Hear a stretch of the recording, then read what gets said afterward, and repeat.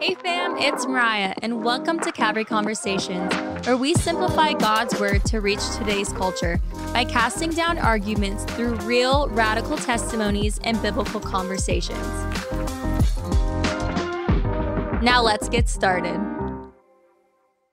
In terms of physical qualities, you you would like somebody who's, I would say, more traditional in the sense, um, not wearing like uh, look, looking like a uh, Many kids. yeah. Um, I, I feel like, like you don't you don't yeah. want somebody like walking around and uh, you know like. I, I- mean, like you know, like we we know how modern women dress. Uh, Mm-hmm. We know how young girls dress, um, yep. because that's what the world says. That's that's the style, and I and I get that. You know, like you want to be trendy, but Mm-hmm. you know, you want to don't go be trendy. Be Wanna be be, timeless. Yeah, you know, don't be trendy. Be timeless and age gracefully. A story that Alex gave is this older man, this young girl comes into the shop trying to basically Oh, yeah, exposing today, everything. yeah. And this older man sits her down and he says, Do you know about like all the, you know, amazing minerals and things that are so precious, like diamonds and pearls and gold, and all these things are buried deep under the mm-hmm. earth. It's mm-hmm. like it takes work to get it. and you have to have miners that come and get it. And first they need to call up the, you know, the government. So it's like talking to the parents. And then you need to sign paperwork. That's a marriage license. And then you have to work hard at it to get it. And by the time, and then that's like marriage. And like the, and so, but nowadays, you have illegal mining and stuff. People get it scraping it from the top, you know, like the stuff that's not the good gold or whatever. Real diamonds. and the they aren't able to get the real gold or the diamonds that are deep below the earth or pearls like in a seashell or whatever. They're and so a fraction of what they really how can. women need to value Mm, themselves mm-hmm. as. Not that you have to be wearing bikinis, which you guys are basically look that up. It's a burqa uh, swimsuit. Fully covered. We're not saying that, but anyway, just knowing that you are valued and you don't need to share all the goods that should be for your husband. Yeah. But Ryan, do you want to share about that? Yeah, I was just gonna say. I think I heard somebody say once that uh, there's a difference between, um, I guess.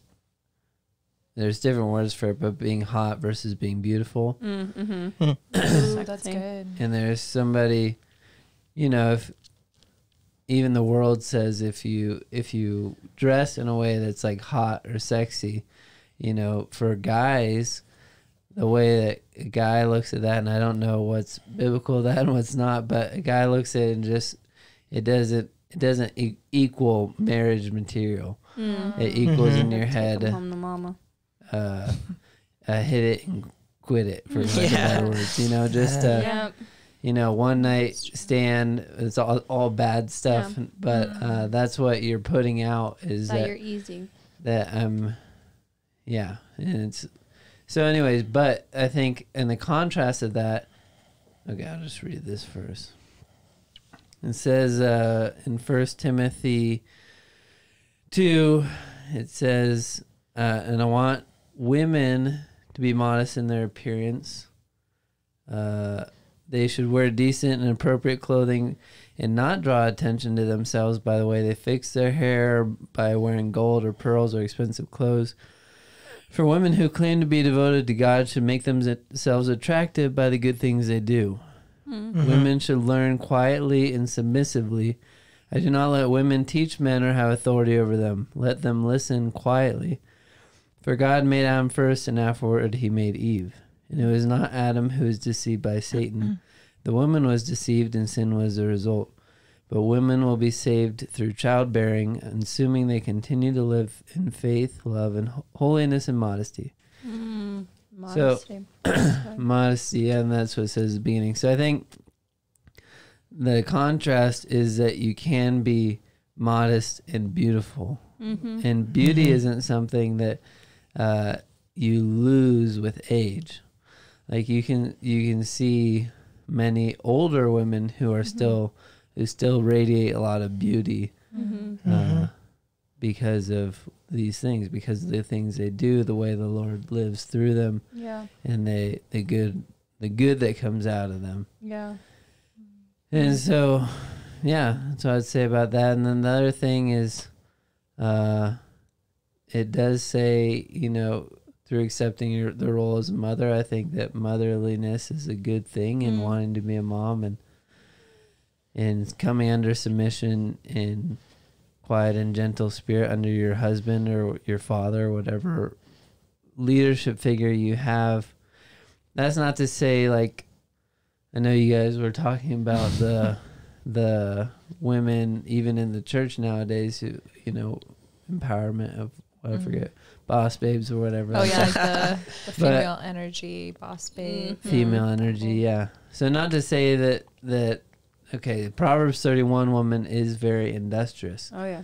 you know she makes Mhm. clothes for her family she burns the midnight Should oil be all those she's, boss babes. she's known at the city Mm. gates her husband praises her and so i think that all those things are good things but it shouldn't uh, counteract it can be done in line with these other things that the Mm. bible That's also why I talks can about say Mhm. that her husband can praise her because she's not doing it to be like I want to make more money and this is my money, this is your money, and like I Mm. get to do this, this, this. She's doing it for their family, Yeah. and also because he's telling her to. And I give that example of like even with, you know, to all you haters out there who think that I just do what my dad says and I don't.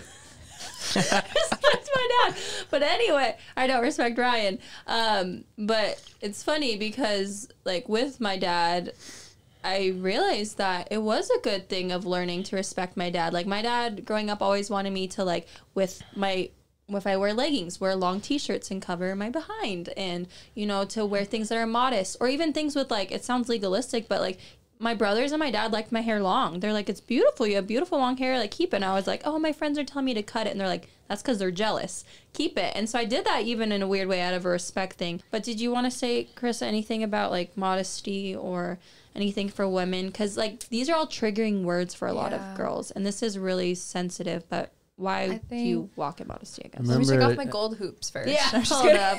remember a tagline you said yesterday Oh, was yeah. be the type of Oh yeah. So Mhm. it was um oh and we were all talking it was like where I've heard, but it was like be the person you're looking for. And so is I looking think- for yeah, be the person you're looking for is looking for.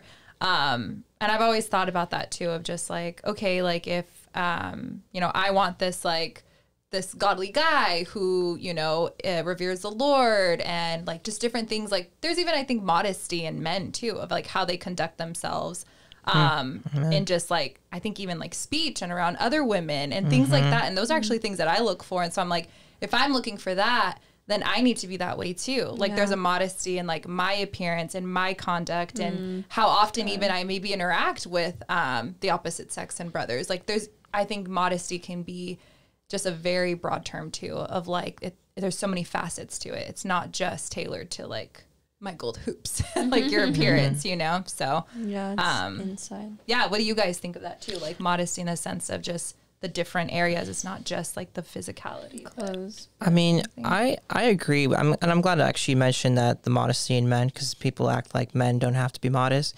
Because men, we can oftentimes say vulgar things. Sometimes we don't read the room. Like we'll behave in a certain way, um, and this may not be applicable to all men, but you know, like being able to conduct yourself around other women and how your approach, the way mm. you greet them, the way you uh, mm-hmm. talk with them, you mm-hmm. socialize with them, how just like your your whole behavior, you have to be very mindful.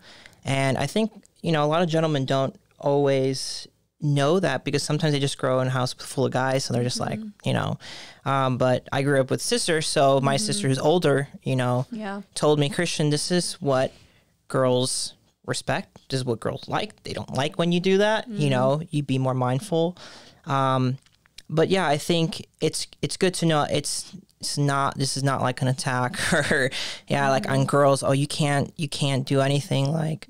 Um, I think what we're just trying to say is there's a biblical way of living Yeah. and That within that biblical yeah and with that biblical standard of living um you know it's contrary to the world. Yeah. um and that's why i think that was what we kind of threw out at the title was uh you know don't be a 21st century woman because today's women you know it's about my body my choice. It's about um, my rights. I gotta have my money. His money is also my money, but like some women think that like it's I not do like it we don't I can do it better. There's no the idea of a partnership uh, or like being in unity where two become one. Um, that Or- or idea head- is like very headship even. separated now. Yeah. Headship, yeah. Yeah. And Yeah. my advice, because we have to wrap it up and you guys can give your closing thoughts for women, is before you dress in the morning, and I've had to think of this because my husband does this, is asking the Lord, God, what do you want me to wear? Not saying, I think God would be fine with it, but truly, would you.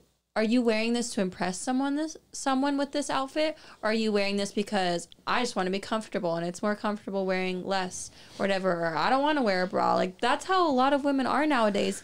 And do you really want even though you're like, well my the Christian brothers should look away. Yeah, they can look away, but think of the bad witness. I'm talking to Christian women. You are to worldly guys seeing, oh, this is a Christian girl and she's dressing like this. It's a mm-hmm. bad example, first of all. And then you're also just kind of exposing yourself. Like there are some perverted people out there and uh-huh. scary people uh-huh. and it's like you shouldn't be doing that even if you're like, well, they need to deal with their struggle and that. Well, you need to care about your brother in Christ hmm. and do your part and ask the Lord, God, why am I dressing this way? Am I dressing to attract other like girls and make like if you well not attract other girls well, uh, hopefully you don't struggle with homosexuality but meaning like girls like to impress other girls with their outfits like what they wear name brands and that which guys don't care about. But just making sure that you are addressing even modesty is with not trying to be flashy or trying to be showy doing it in a way where you can still be cute um, and look good but still being okay with you know like how ryan always is is like i want him to know that i'm saving everything for him you know like he gets to see me and i'm not trying to impress anyone else and to him even before we're married. Like you appreciated that. And so that was like really cool that my dad and my family trained me that way but I mean, this isn't for condemnation; it's for uh, encouragement and exhortation to to live like this, like the Bible says to live as a woman, because it is to the man who's running after Jesus. It is very attractive. yeah Everybody else is gonna call you crazy, but uh, Jesus told us that would happen. So it's okay. You know, it's to be expected and um, embraced, even. You know, and uh, I would just say that yeah, don't don't feel condemnation if you feel like you don't match up to the things we talked about or read, but just realize, like Keith Green says, you know, it's by the grace of God that I stand. amen And so it's apart from that grace, we all Mm. would be in hell. And so yeah uh, I think just uh, search the word and find out for yourself what what the Lord says about what it means to be a, a woman walking with Him, and uh, ask Him to search you and teach you how how to be, because it's uh, a woman under submission to the Lord and to her husband is a very beautiful thing, and that's what I would say that the world tells women that it's that is different. The the world says that woman under submission is stifled and extinguished.